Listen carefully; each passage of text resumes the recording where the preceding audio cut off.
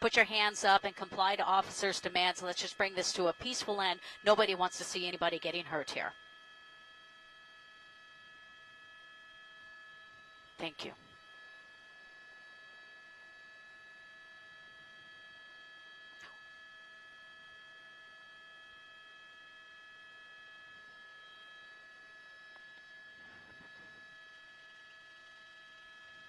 Well, in fact, my pilot Aldo just uh, let me know right now he was able to get some of the information uh, from the uh, uh helicopter. Uh, that's a windshield wiper blade. So uh, it may not seem like a weapon right now, but officers do not want to approach this individual who's extremely irate. So most likely in this situation, if he does not comply, they will use non-lethal force. But the last thing this individual wants is for a canine dog to be deployed on him as of right now. But it appears to be a windshield wiper blade.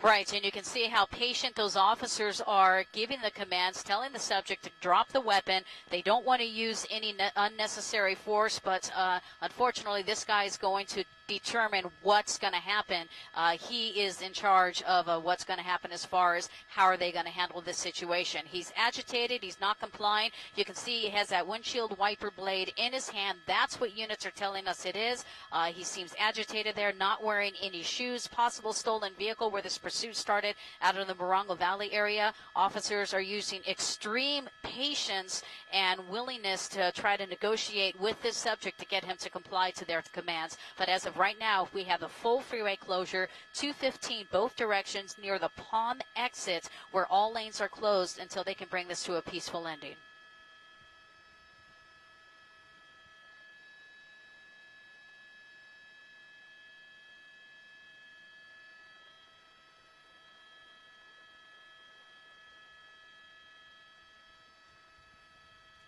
Well, uh, they do have a CHP units back there. Uh, you can see those units. I don't want to lose the center of the screen in case if something happens. Uh, they are telling officers uh, they're taking precaution right now. Watch your crossfire. They want to make sure no officers are in the crossfire. But uh, you've got those two units up to the top of your screen blocking traffic. So he really can't run to the north because he's going to run into some officers. Uh, if he decides to try to run off of the freeway down that hill, uh, there's officers waiting for him on, uh, I don't know if that's Palm Avenue, but I know we're in the vicinity. Uh, that looks like to be the CHP helicopter there above, giving visual reference and bringing information, vital information down to the ground units. And then we have those three officers these are the primary officers, the K9 unit, uh, just there waiting for the command as to far as what the handler is going to have that dog do. Right now, they are wanting this subject to comply, get on your knees, drop that weapon. That's the number one thing they want him to do is to drop the weapon. You can see officers on the right side of your screen along the 215. They're trying to get some of the cars out of this area. They want to eliminate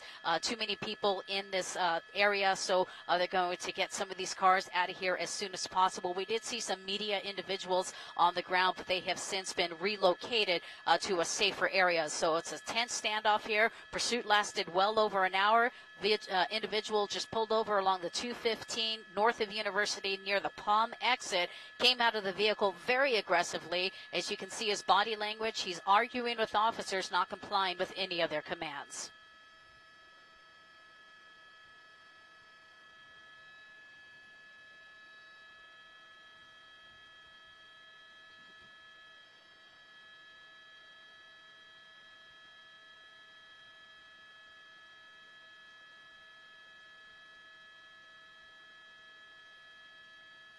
Right, and most likely they're giving him the ultimatum: you need to comply. This is over with. Otherwise, uh, unfortunately, most likely we'll see uh, some type of non-lethal force. Uh, But what I meant most likely, unlikely, is that dog. If they send that canine um, on this individual, that canine is trained to apprehend a suspect and bring that subject down so officers can get control of the individual. We hope not to see that. Uh, those uh, dog bites are nothing you want to deal with. And this officer right here looks like he has a, uh, he may have a beanbag or something of that nature. It looks like uh, that's what he has. Uh, so they may be uh, trying to bring this to a conclusion here, and they may engage in some non-lethal force to get the subject to comply. But right now, you can see he's still very aggravated as he's yelling at officers, pointing that windshield wiper.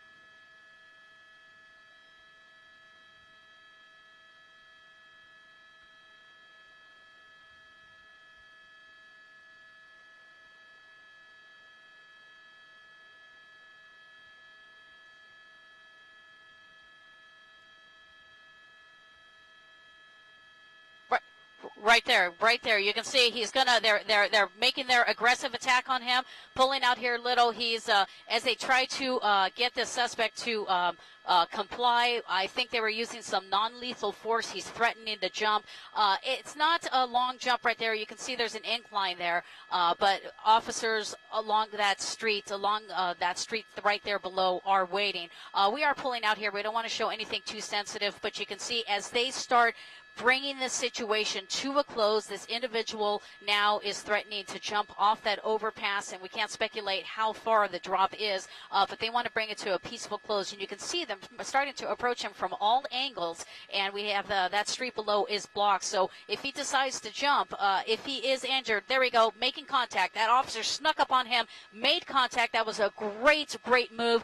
While he, he they diverted his attention, the other officer snuck up behind him and was able to tackle him and bring him back down. So you can see I got to give my hats off to uh, uh, CHP and I believe those are the sheriffs down there. They they, they did a great situation. Uh, they know everybody's going to critique them following this incident, and I got to tell you, these guys did a great job bringing this individual into custody and doing a great job. Nobody got hurt.